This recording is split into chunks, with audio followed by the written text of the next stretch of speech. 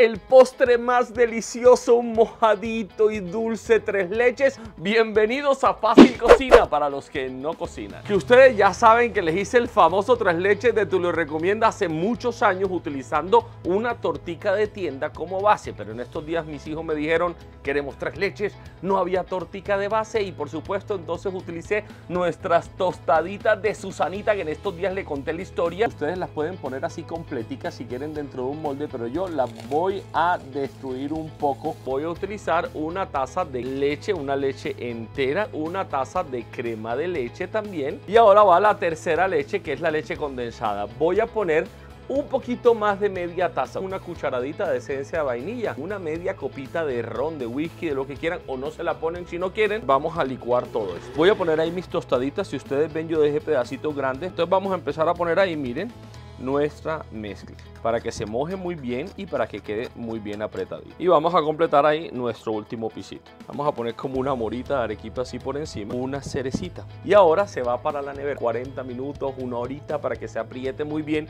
y guarden un poquito los juguitos para que después le puedan poner un poquito más. Chucutum para adentro. Me van a amar por esto. Y esto fue Fácil Cocina para los que no cocinan de Tulio Recomienda.